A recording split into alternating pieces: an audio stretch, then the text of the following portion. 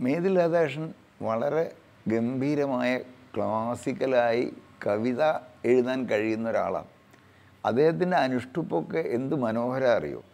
കേരള കവിതയുടെ ഒരു ലക്കത്തിൽ എനിക്ക് ഓർമ്മയുണ്ട്. മൂന്നോ നാലോ അഞ്ചോ പേജ് വരുന്ന ദീർഘമായിട്ടൊരു കവിത. അത് ഒന്നാന്തര അനുഷ്ഠുപ്പിൽ ഒരു ഇപ്പോഴും ഓർമ്മിക്കുന്നത് ഒരു വരിയാണ്. പത്മിനി പുറകിൽ കയറൂ പാഞ്ഞു പോകട്ടെ ഭൂപടം എന്ന് പറയുന്ന വരികൾ സൂര്യവംശം എന്നുള്ള വിസ്ഫോടകമായ അല്ലെങ്കിൽ വിച്ഛേദകമായ ആ നോവലിന്റെ ആരംഭം ദീർഘമായുള്ള ഒരു കവിത അനുഷ്ടുപ്പിലാകും.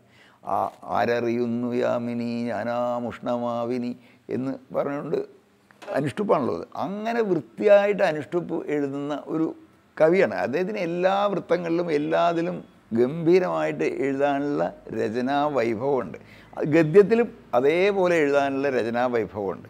അങ്ങനെ രചനയെ സംബന്ധിച്ചിടത്തോളം ഈ വളരെ ആധുനികമായിട്ടുള്ള ഒരു സങ്കേതം എന്ന് പറയാൻ വയ്യ. രീതി അദ്ദേഹത്തിന്റെ. അത് ഏറ്റവും ഗംഭീരമായി ഫലിച്ചത് സംഗീതം ഒരു സമയകലയാണ് എന്ന ചെറുകഥ എനിക്ക് മേതിലിന്റെ ഏറ്റവും നല്ല കഥ ഏതാണ് എന്ന് ചോദിച്ചാൽ എനിക്കൊരു സംശയിക്കാൻ അത് പറയാവുന്ന ഉത്തരം സംഗീതം ഒരു സമയകലയാണ്.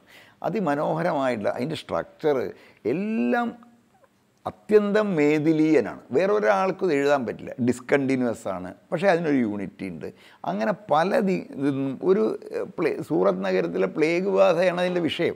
പക്ഷേ അത് ആവിഷ്കരിച്ചതും എഴുതിയതും എത്ര ഗംഭീരമായിട്ട് അതിന്റെ ക്രാഫ്റ്റ് അതിന്റെ മികവ് അതാണ് ഏറ്റവും ഉത്തമമായിട്ടുള്ള മേദിലീയൻ കഥ എന്നാണ് ഞാൻ വിചാരിക്കുന്നത്.